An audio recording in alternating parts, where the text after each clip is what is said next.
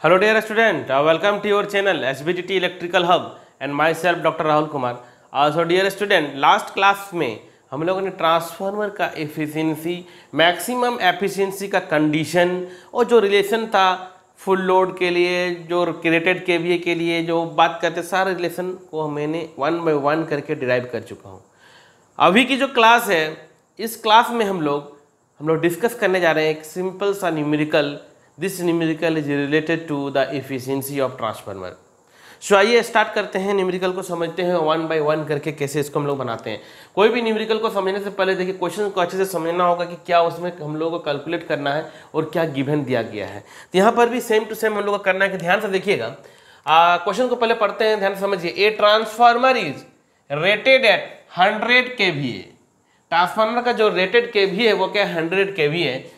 Eight full load ध्यान समझिएगा full load its copper loss is full load में बात करेंगे. ट्रांसफार्मर का फुल लोड का बात कर रहे हैं. So copper loss is 1200 watt okay and iron loss is 960 watt calculate number one the efficiency at full load क्या निकालना है एफिशिएंसी फुल लोड के लिए unity power factor power factor क्या है? यूनिटी है. मतलब हम लोग यहाँ पर कॉस फाइव का वैल्यू जो है वो वन दिया गया है. सेकंड में उस तरह से निकालेंगे हाफ़ लोड के लिए और पावर फैक्टर 0.8 है।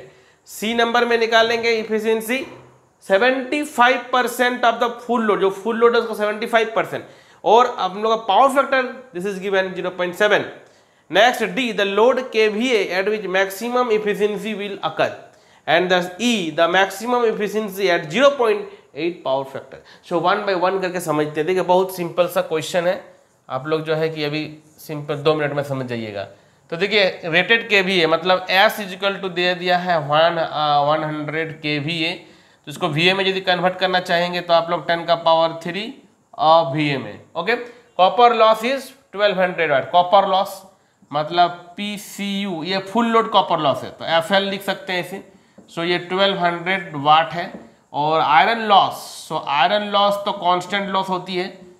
आयरन लॉस लोड पे डिपेंड नहीं करती है iron loss does not depends upon the load whether it is half load full load 75 percent load this is the constant losses in the transformer already i have discussed so many times and now this is the copper loss so copper loss this is the depends upon the loading conditions of the transformer whether it is full load half load and different types of loading conditions okay so let's start the number uh, question number that is the a so efficiency so you know that suppose this is the a so you know that efficiency the formula is V2 I2 cos phi 2 and divided by V2 I2 cos phi 2 plus what? Copper loss plus iron loss. Okay, this is very clear.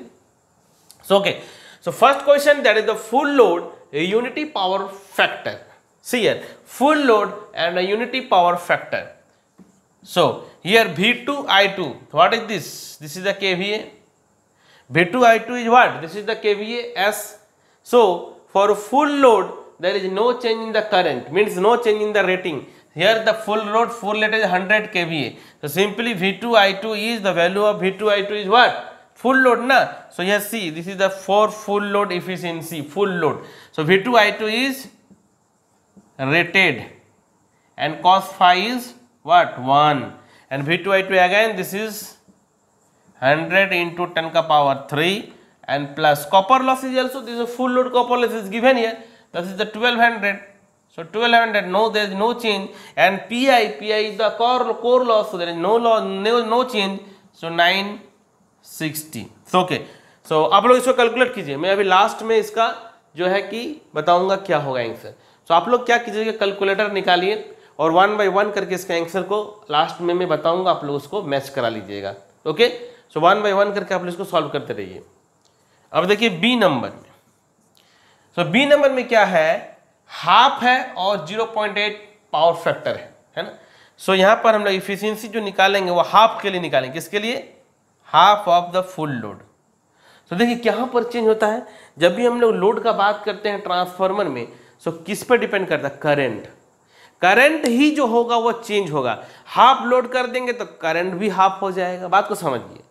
Loading condition load जैसे हम लोग very कराएँगे, वो simply current पे depend करेगा। और कुछ भी, किसी चीज़ पे डिपेंड नहीं करेगा। सो वोल्टेज यहाँ पर देखिए वी टू आई टू है। So V two I two full load के लिए क्या है? देखिए, ये है ना वी टू आई टू तो यही है ना वी टू आई टू अब ये जो है हाफ़ लोड हो जा रहा है। मतलब आई टू के जगह में आई टू नहीं है, वो half I two so half I two हो हंड्रेड के जगह में क्या हो जाएगा? फिफ्टी हो जाएगा। क्या हो जाएगा? फिफ्टी हो जाएगा। तो वी टू आई टू के जगह में हम लोग का हाफ़ हो जाएगा मतलब फिफ्टी के वी ए टेन का power three and cos five two का वैल्यू क्या है? देखिए तो यहाँ पर ज़ीरो पॉइंट एट है। सो ज़ीरो पॉइंट एट है। सिमिलर नीचे में भी फिफ्टी इंटू टेन का पावर थ्री आप लोग को ये समझ में आ रहा है कि नहीं आ रहा है? ये आना चाहिए। देखिए, मैं बात कर रहा हूँ क्या? वी टू आई टू ये एस है आपका, है ना? ये फुल लोड के लिए। हाफ़ लोड जैसे ही कर देते हैं तो कुछ चेंज नहीं होता V two I two by two तो आधा हो गया हाफ़ हो गया। तो वही मैं कह रहा हूँ यहाँ पर, बस, ठीक है? और कॉपर लॉस तो कॉपर लॉस क्या होता है बताइए? कॉपर लॉस डिपेंड करेगा। कॉपर लॉस का देखिए, मैं यहाँ पर लिख रहा हूँ। कॉपर लॉस का फॉर्मूला क्या था P C U is equal to I square R बोलिए। कॉपर लॉस क्या है? आई स्क्वायर आर होती है। Copper loss what I square R अब यदि हाफ़ लोड बोल देंगे तो करंट तो हाफ़ हो जाएगा। अब जब कॉपर लॉस या फुल लोड के लिए यदि हम लोग इसको क्या कर देंगे हाफ़ के लिए कर देंगे हाफ़ के लिए तो करंट हाफ़ हो जाएगा। और यदि करंट हाफ़ हो जाएगा तो क्या हो जाएगा? वन बाई टू का होल स्क्वायर मतलब one by four I square R so अब यदि हम लोग हाफ़ लोड का बात करेंगे तो कॉपर लॉस हम लोग का कितना दिया हुआ था? ट्वेल्व हंड्रेड वाट अब ट्वेल्व हंड्रेड वाट नहीं रहा। क्या रहा हाफ़ लोड के लिए?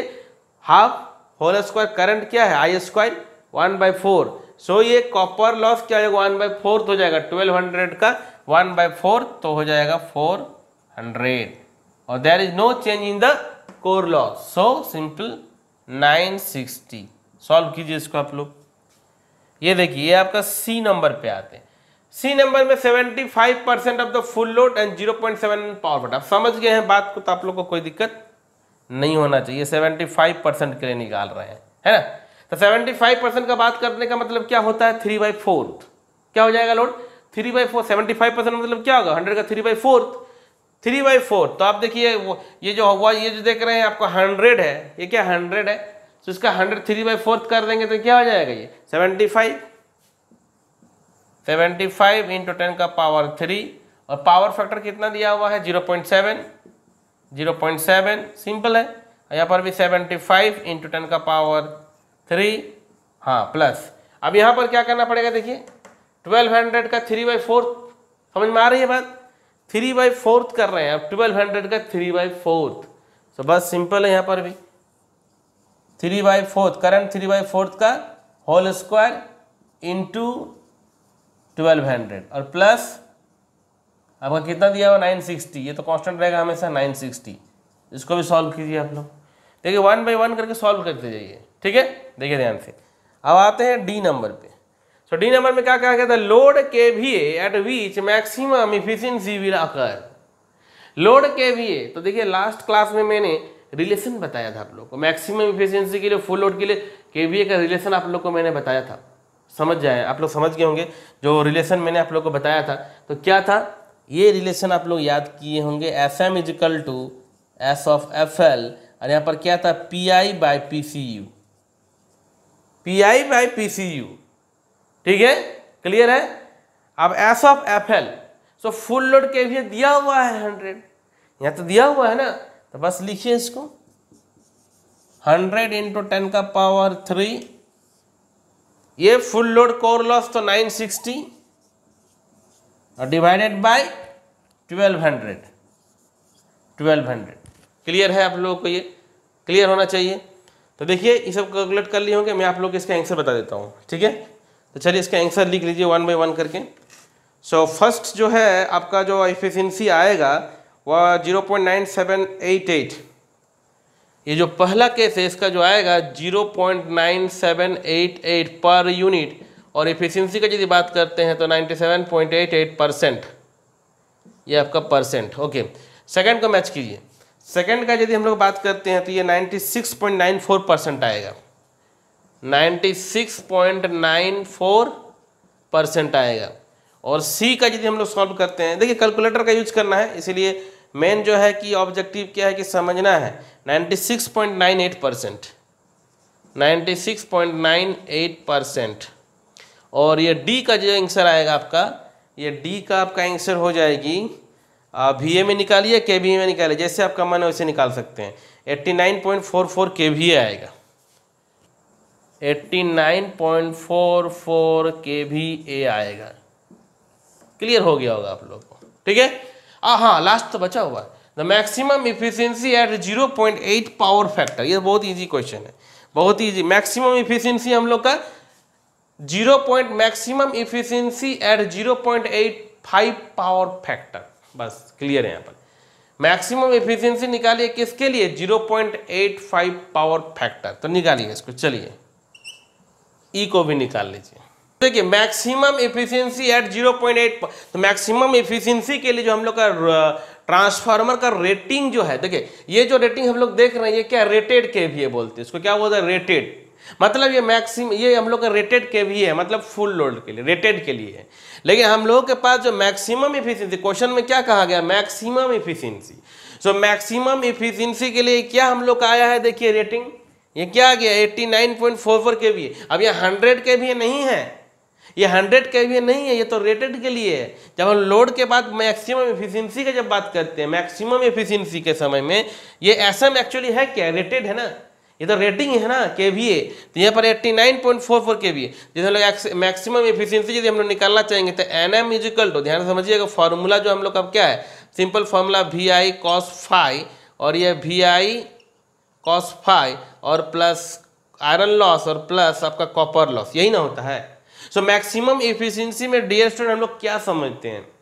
Copper loss equal to core loss so यहाँ पर हम लोग क्या करेंगे? ध्यान से समझिए, ये वी आई तो वी आई एक्चुअली हंड्रेड नहीं होगा, क्योंकि मैक्सिमम इफिशियंसी का हम लोग निकाल चुके हैं कि क्या है? ये 89.44 है। तो हम लोग यहाँ पर क्या लिखेंगे? 89.44 और पावर फैक्टर तो दिया हुआ है 0.8 और 5 दिया हुआ है।